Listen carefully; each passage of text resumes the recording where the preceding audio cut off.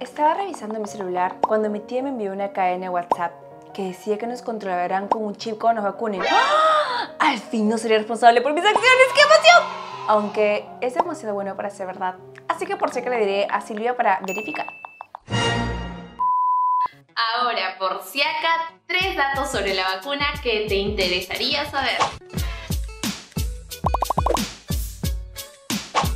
El primer lote de vacunas llegará este 9 de febrero. Última actualización.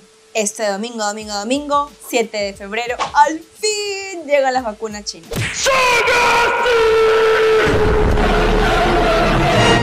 Esto lo dijo Sagasti en su primera conferencia puntual que lo dio un domingo en la mañana, cuando todos estábamos muy despiertos y atentos. Pero mencionó como 20 vacunas. En realidad, ¿cuántas van a venir? Bueno, en realidad mencionó seis laboratorios que hacen vacunas, como lo es Pfizer, AstraZeneca, Johnson Johnson, la Moderna, Sinopharm y la de Gamaleya con la vacuna Sputnik. Ajá, la famosa vacuna roja. Digo, rusa. Pero el primer lote que llegará al Perú son las vacunas chinas Sinopharm, con la que tenemos un contrato de 38 millones de dosis. Pero me pregunto, ¿por qué tantas negociaciones con tantas vacunas?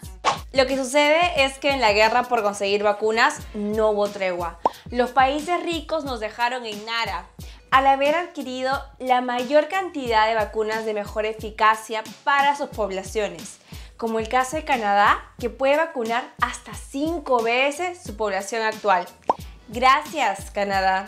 Y, obviamente, a los países pobres y medianamente pobres, como nuestro, nos toca esperar y obtener las vacunas de menor eficacia.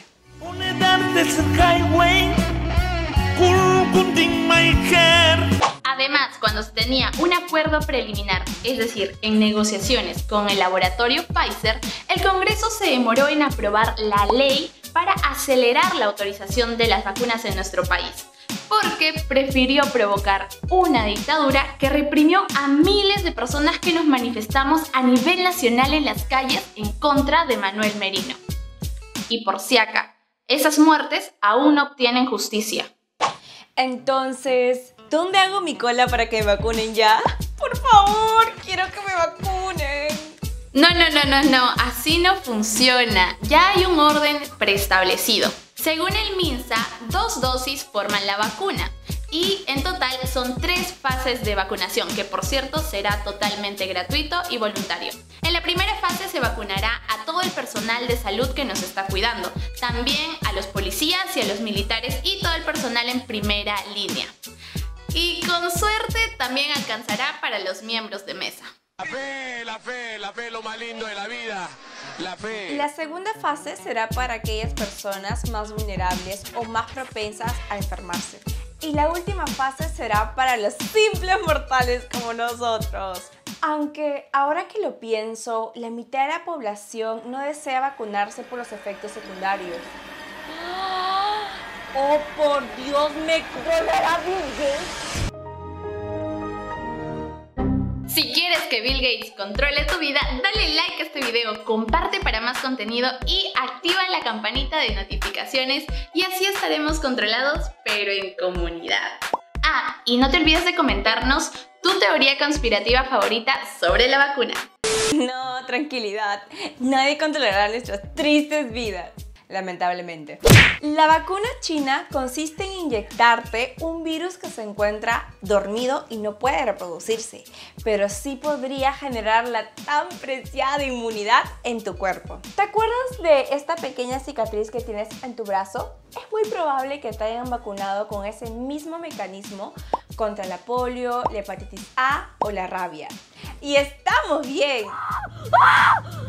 ¡Ay, no me dolió!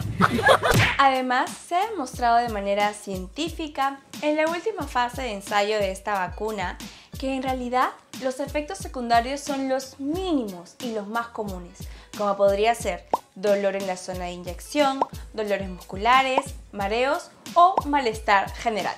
Pero tranquilos amiguitos, que la tía Susi se va a vacunar y si ella vive la vida sin que la vida la viva, ¿por qué nosotros no? Ya, pero en serio, el simple hecho de vacunarnos nos da más del 70% de probabilidades de al fin ser inmunes. Por si acá, se han cumplido con los estándares internacionales para la elaboración de esta vacuna. Además, ya se ha probado en 12.000 voluntarios peruanos. Y en todos los casos es mucho mejor y seguro que tomar lejía industrial. Oye, por si acá, una de las voluntarias de la vacuna china no falleció en un ensayo. Sí, lamentablemente es cierto la muerte de la voluntaria, pero la Universidad Cayetano Heredia dijo que no tenía que ver con la vacuna, ya que a ella le habían dado un placebo. Es decir, que no le habían inyectado la vacuna. Gracias por llegar al final del video. Si no tienes con quién pasar este 14 de febrero, nosotros tampoco. Así que por favor suscríbete, dale like, comparte este video y recuerda que todas nuestras fuentes se encuentran en la cajita de descripción. Nosotras nos vacunaremos. ¿Y tú? Ya que las medidas del gobierno no han sido suficientes para afrontar esta cuarentena, te invitamos a dejar en los comentarios las iniciativas sociales que conoces para darnos una mano. ¡Chao! ¡Chao!